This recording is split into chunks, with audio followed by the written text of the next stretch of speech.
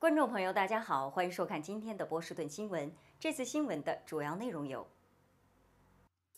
波士顿侨界支持北京2022冬奥会；Omicron 变体或需要第四剂辉瑞疫苗。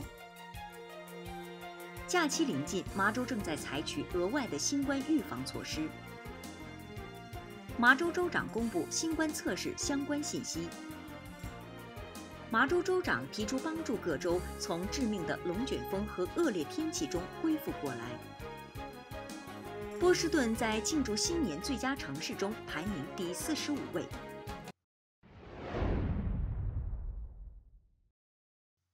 二零二一年十二月十二号中午，波士顿侨学界庆祝二零二二北京冬奥会活动在麻州剑桥市公园广场隆重举行。超过两百名各界人士出席，共襄盛举。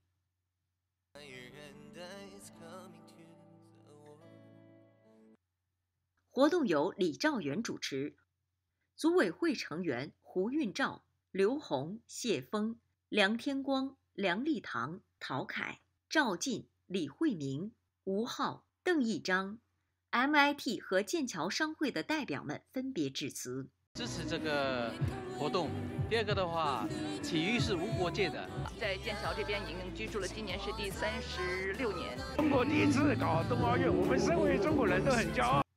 冯丽丽、万冰船与波士顿最少年艺术团、新月艺术团、潘杰声乐教学工作室的小朋友们一起演唱了冬奥会火炬接力主题曲《希望之火》。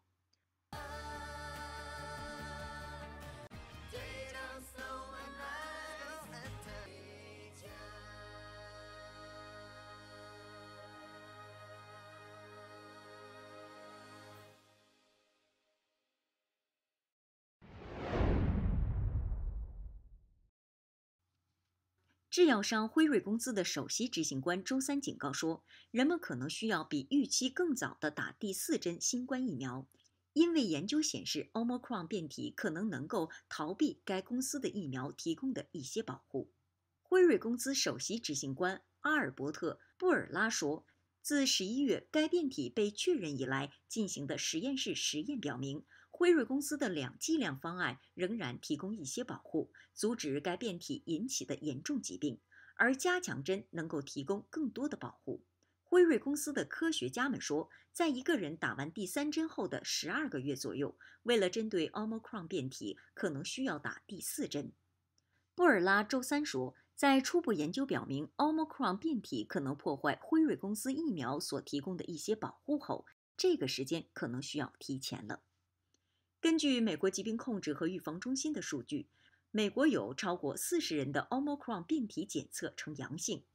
据疾病控制中心主任罗谢尔·瓦伦斯基说，几乎所有人都表现出轻微的症状。美国约有两亿人已经完全接种了疫苗。这刚刚超过该国人口的百分之六十。本周，世界卫生组织表示，初步测试表明，Omicron 比 Delta 变种的传播性要高得多，但至少对于那些已经接种疫苗的人来说，可能不那么致命。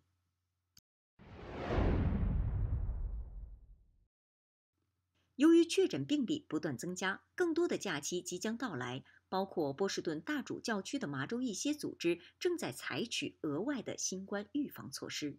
从下周末开始，整个大主教区所有参加活动的人必须佩戴口罩。口罩要求将于2022年1月17号截止。五岁以下的儿童不需要佩戴口罩，两岁以下的儿童不应该佩戴口罩。这一变化是在 Omicron 新冠病毒变体的威胁越来越大，以及现有的 Delta 变体威胁的情况下发生的。这两种变体在节日季节的核心时期不断的加剧，教会信徒中的反应不一。全国顶级传染病专家安东尼·福奇博士周日上午在参加美国广播公司的节目时谈到了戴口罩的重要性，特别是在寒冷的天气月份。福奇说：“当你在室内聚集的环境中，而且你不知道你周围的人的疫苗接种情况，遵循疾病预防控制中心的指导方针，戴上口罩。”福奇还重申了新冠疫苗加强针对新冠病毒变种的有效性。他说：“有令人鼓舞的消息是，初步数据显示，当你接种加强针后，例如第三针 mRNA，将为你提供足够高水平的保护。它确实对 Omicron 有很好的效果。福奇补充说，初步数据还显示 Omicron 变体具有高度的传播性，可能对免疫保护和抗体有一定的抵抗力。这就是为什么他说新冠加强针如此重要。麻州将在受新冠病毒大流行影响最严重的社区发放超过两百万份免费的快速家庭新冠检测包。麻州州长查理·贝克说，这些免费测试将在一百零二个生活在联邦贫困线以下的麻州家庭比例最高的城市和城镇发放。按照这些标准，麻州的所有二十个受影响最严重的社区都将包括在内。这一百零二个市镇总共有三百七十万居民。贝克说：“快速在家测试套装正在为人们提供一种简单和方便的方式，让人们接受新冠病毒的测试。在我们进入假日季节时，这些测试将特别有帮助。”来自麻州国民警卫队和麻州紧急事务管理局的团队将从周二开始帮助把二百一十万个快速抗原的检测试剂盒送到各城镇。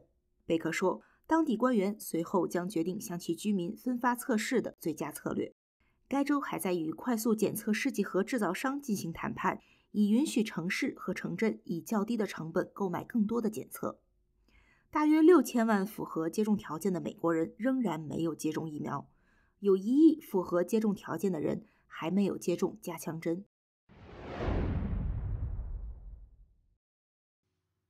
在龙卷风和严重的风暴袭击了几个州之后，麻州州长查理·贝克提出支持恢复工作。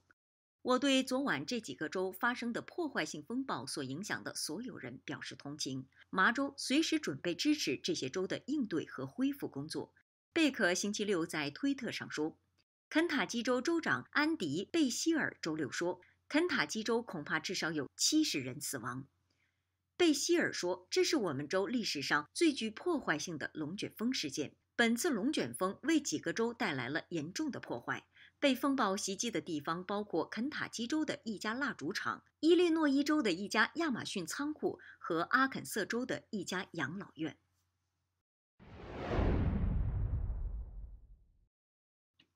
波士顿被评为美国第四十五个最适合庆祝新年的城市，成为麻州唯一被认可的迎接新年的前一百个地方。